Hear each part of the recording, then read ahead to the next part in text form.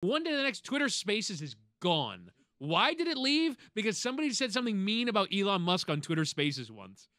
That's why all of a sudden, platform gone. It's bizarre. Profile pictures square now.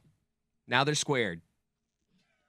You guys are Well said. you guys are saying you guys are saying that what I'm saying that Elon Musk is what were you trying to say, Chris Cote? He doesn't know. What were you trying Profile to say? Profile picture say? square now? Now there's What, Chris? I was doing like it was. Your, I was playing Jeopardy with myself.